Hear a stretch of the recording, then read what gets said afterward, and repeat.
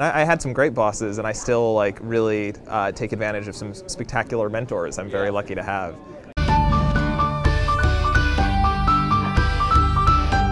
Hi, I'm David Karp, the founder of Tumblr. Uh, Tumblr is uh, trying to be the best tool in the world for creative expression.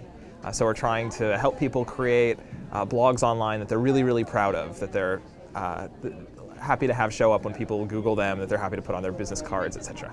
Um, it was something I really wanted to use, and um, the tools really weren't out there at the time. Um, I tried everything that was, nothing really worked. And um, that's sort of been, I think, the guiding light for us uh, now four years into Tumblr. We're trying to build tools that we really want to use. Um, it was literally in between contracts, so we had a couple weeks where we, you know, were sitting on our hands, dicking around, and uh, I said, you know, let's just take a stab at this. This is something that I've wanted to try for a week, uh, for a while. Let's see how much we can pull together in a couple weeks. And that was the very first crude version of Tumblr, and we kind of kept chipping away at it for a few more months until eventually it came together. Because Tumblr wasn't, you know, we were making money. We had all these great clients. We were having a lot of fun working on all these projects we were really proud of. And Tumblr was like one of those things. Um, and it seemed like a much bigger opportunity, but I just wasn't sure in the beginning. Um, and there were just a lot of people who, you know, I, I, really trusted, really admired, who were telling us that, you know, that was that was the thing to go for. And you know, eventually, it, was, it took about six months before I just gave in and said, all right, I'm, I'm pissing off my clients. We're not returning their calls. Tumblr seems to be where our hearts are. Let's go for it. Hi, I'm Andy Corvell. I'm the founder and CEO of Corvell Corp. I, I had some great bosses, and I still like really uh, take advantage of some spectacular mentors. I'm very lucky to have. Don't let life get in the way of living.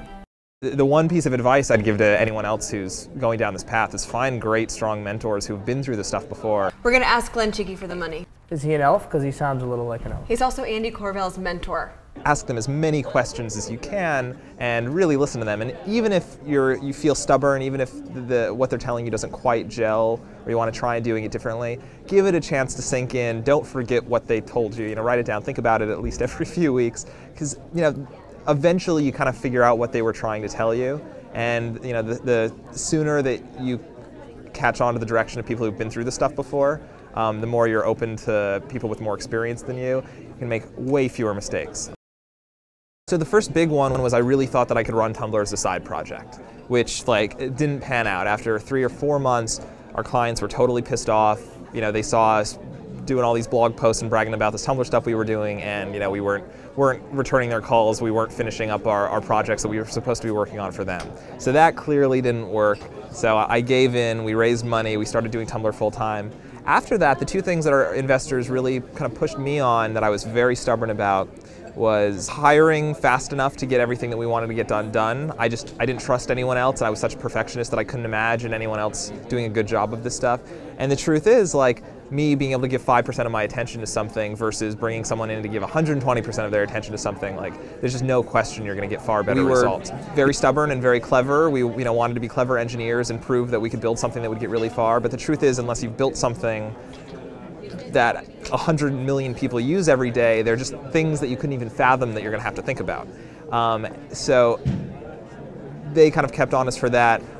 I, I, wish that I had brought people in earlier. We're lucky enough to have those people today, but you know, had I had those people, you know, a year earlier, we wouldn't have had to pay off quite as much of a technical debt as I think we had to.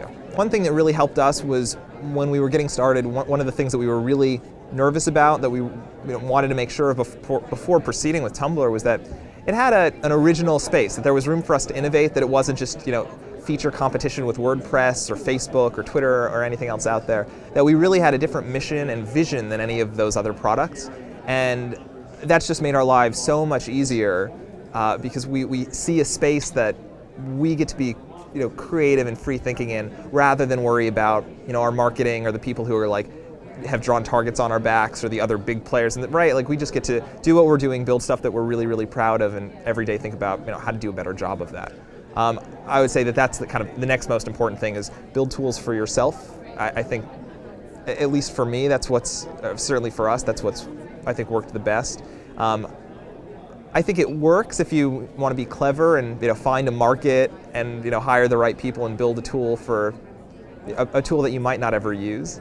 Um, I imagine that's worked for some people. It's not at all how we've approached it. These are tools that we want to use first and foremost. We're often you know, thinking about our, our users um, not last, but we're, we're first and foremost thinking about the things that we're really excited to use ourselves and then thinking about how that translates into our community.